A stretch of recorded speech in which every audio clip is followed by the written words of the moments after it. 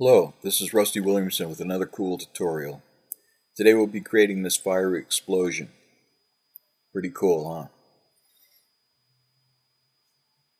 Alright, we'll get started. We'll do new. Well, first we'll stop this. We'll do new, new project, new composition. It can be 1920 by 1080 square pixels, 30 frames per second. Make it uh, 4 seconds is okay. And we'll create a solid. We'll make this solid a white solid. And we'll take the pen tool and create a shape like this.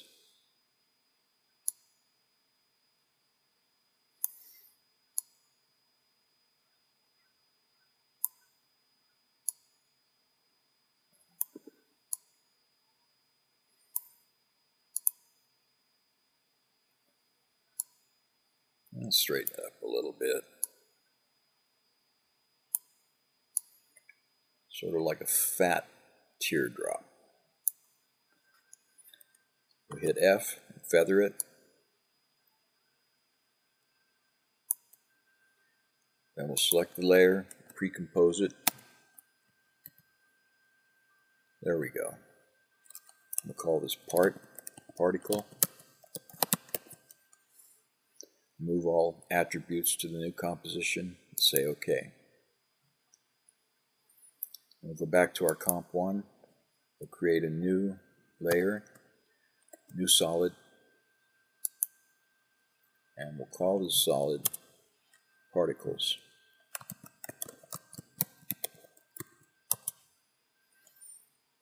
And we'll add the effect CC particle world. All right, we'll open the producer. And first we'll hide our particles so we can see what we're doing, and we'll advance the time frame. All right, we'll lower the Y position till it's almost at the bottom. Then we'll open the physics and change it, the animation type from explosive to fire.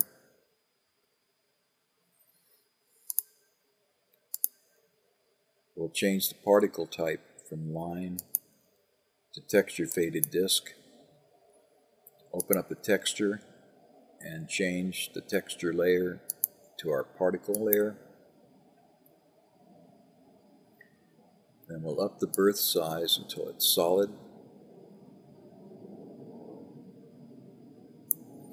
And we'll up the death size until it's solid. Let's see what we have.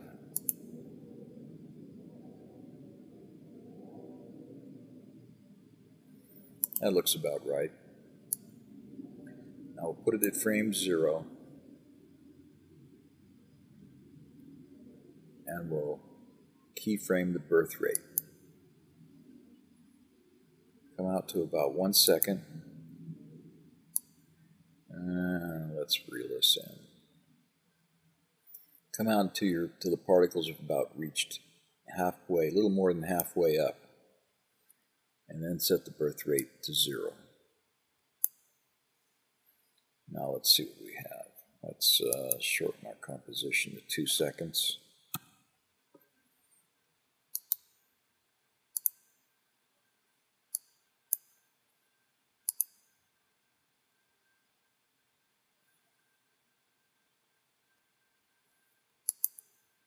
Okay.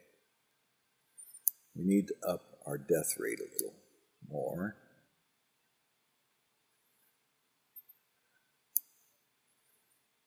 Now let's see what we've got.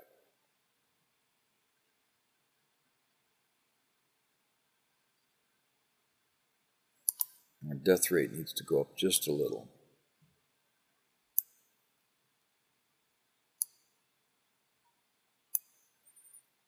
Let's see. We don't want particles lagging behind too much.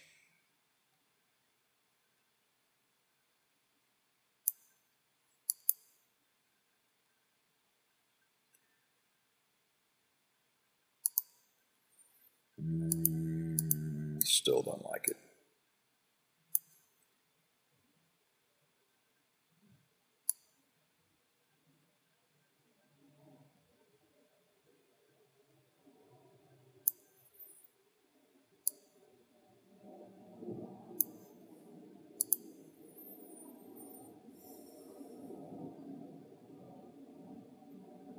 That looks a little better.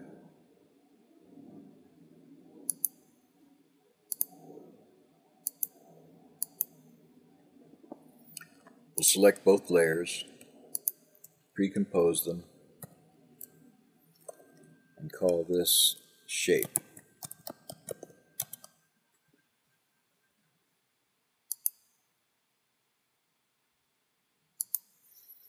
Okay, we'll go back to comp one. We'll create a new layer, a new solid. We'll call this noise. And we'll add fractal noise to it.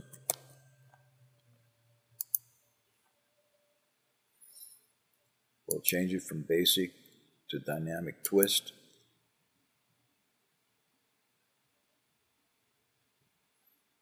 We'll up the contrast a little, down the brightness a little. Say about a negative 9. Then we'll open the transform properties and alt click on the offset turbulence. We'll enter open bracket 0 comma time times a negative 750 close bracket. Then we'll alt click the evolution enter time times 350. Let's see what we've got.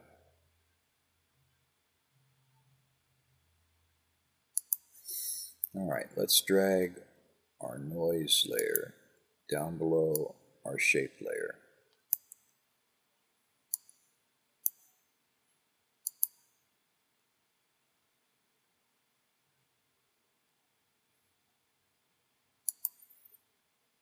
All right, now let's set the track matte to alpha matte shape.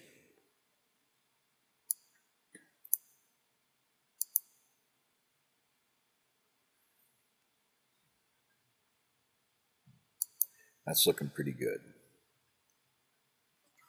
Select both layers, pre-compose, and call this texture.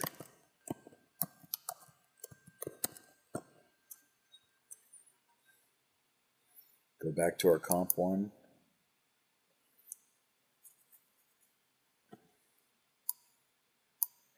And left click, I'm sorry, right click on the layer and select time, enable time remapping.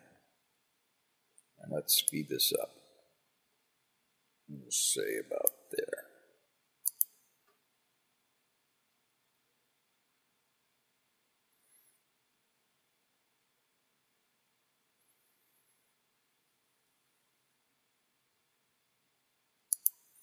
All right. Let's add an adjustment layer and add to that Color Vibrance, which is a free plugin from Video Copilot.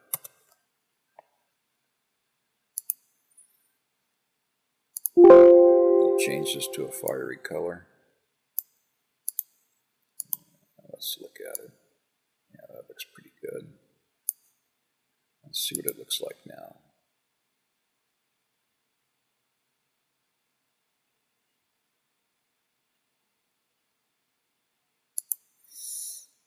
Okay. Let's duplicate our texture layer.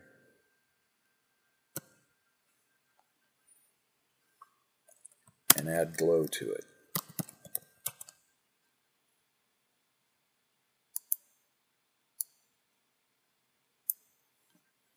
We'll hit T for transparency, turn down the transparency so that our, the detail of our fractal noise still comes out. maybe about 80.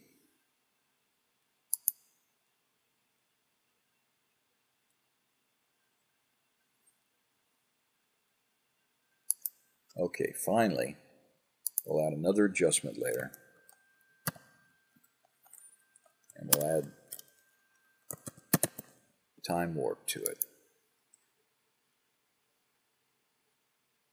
And we will slide it over Take a look at our explosion. When it's about halfway, right about in there, we'll slide our later layer back over so that we slow it down right there. Now let's see what it looks like.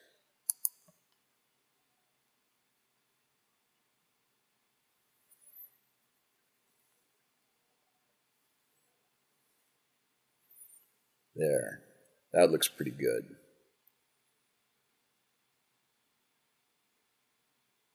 Hope you enjoyed this tutorial. It was a short one, but kind of interesting and kind of cool. Give it a like if you liked it. If you have any questions, leave them in the comments below.